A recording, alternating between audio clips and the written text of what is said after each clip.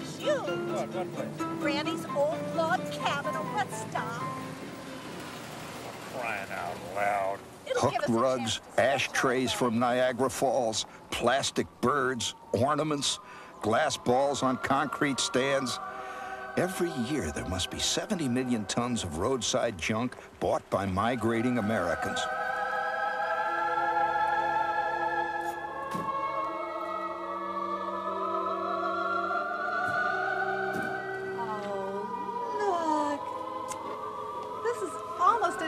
Come true. Look at everything they have here. And the pelican? Randy, look at that. Randy, look at these two little frogs sitting under the umbrella on the love seat. That is so adorable. No one has as yet fully explained the urge that large numbers of people have to dot their lawn with plastic flamingos or elves squatting under toadstools. When he's at home and in his right mind, he would never think of buying a pink plastic duck. But when he's on the road, somehow it makes sense.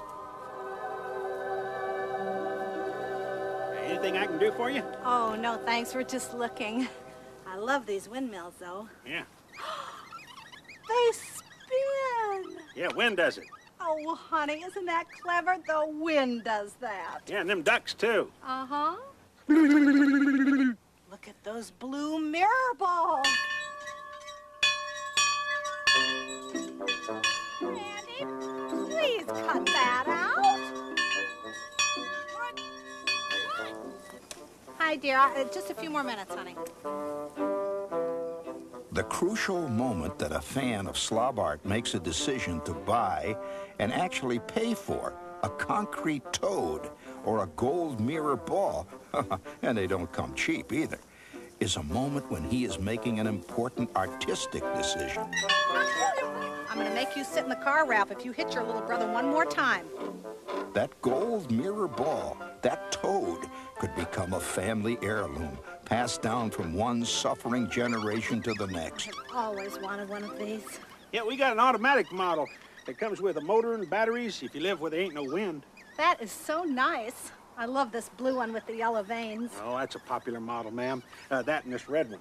Oh, sell a lot of them.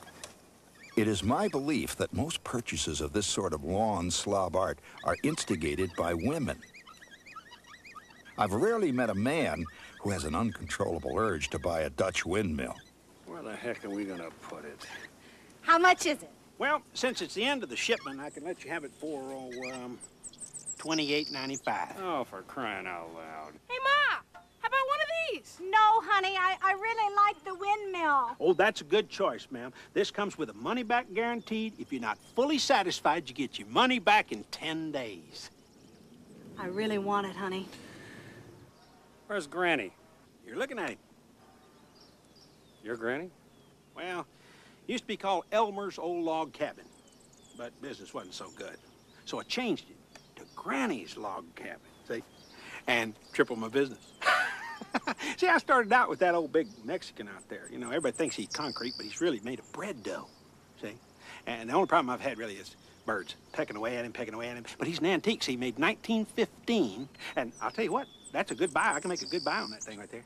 See, uh, and I can get you a trailer, and uh, you can take it with you, you know, with the trailer.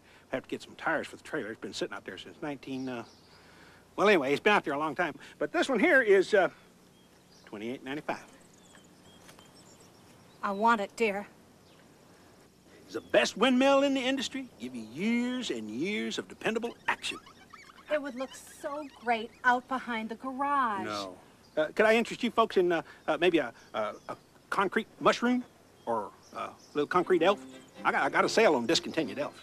Let's go. It's getting late. We aren't going to buy any junk today. And so, in the great tradition of the tourist, our family acquired a Dutch windmill for the lawn. The year after, we got two flamingos. And then the year that the old man got his raise, we finally got that beautiful white plastic donkey. Oh, the urge to add beauty to one's life is irresistible.